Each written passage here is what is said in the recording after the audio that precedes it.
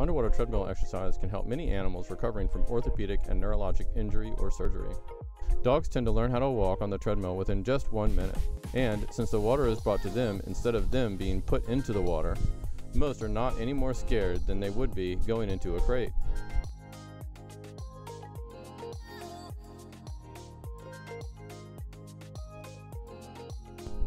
Unlike swimming, we are able to adjust speed of the treadmill to meet the patient's needs.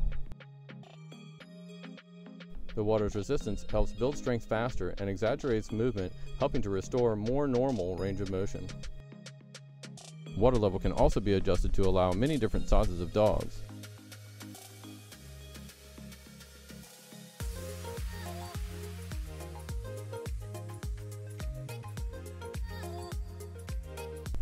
And through buoyancy, we can unload the patient's body weight from 11 to 38% depending on their individual needs.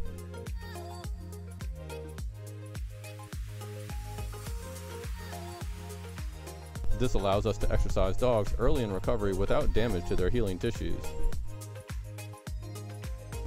It allows them to practice walking without the fear of falling and slows movements that may be hard to do or even painful on land.